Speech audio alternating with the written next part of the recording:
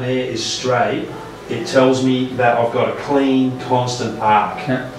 Wherever the red line accelerates, it tells me that there's an acceleration in the curve. So um, basically what it's telling me is that around about here, the nose rocker starts to accelerate a bit, and I noticed when I was changing it that in comparison to a rocker I would normally use, that was a bit more flipped. Um, look, you know, I, I would probably soften the nose rocker a bit.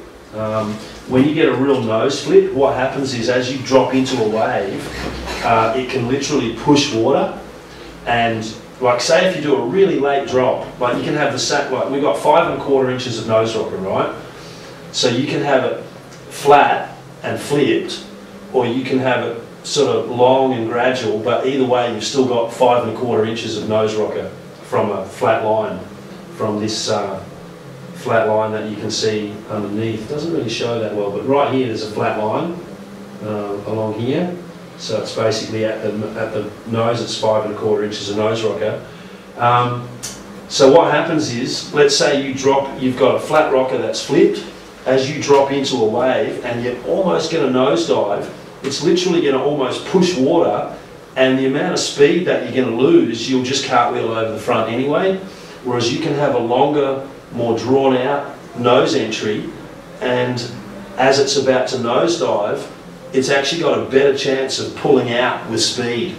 It's a little bit like if you've got a speedboat, um, you can imagine a lot of speedboats, they're pretty flat in the tail and the nose rocker of the boat comes right back to the centre of the boat. But then other times you'll have like a, what we call in Australia an aluminium dinghy, and it's a fairly flat boat with, a, with an abrupt bow.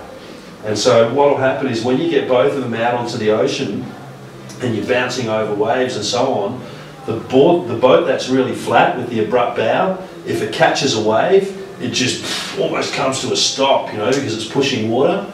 But the, the speedboat, which has the long drawn out nose entry, as it hits a wave, it's able to kind of glance over it and, and keep more speed because it's got a longer, cleaner entry. But a lot of people think, like it's, it's a bit of a mental thing, that, oh, if I've got a real nose flip, I'm not going to nosedive.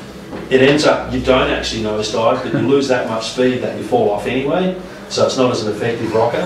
So, so personally what I would do is keep it where it is, but just soften soften the nose entry. Um,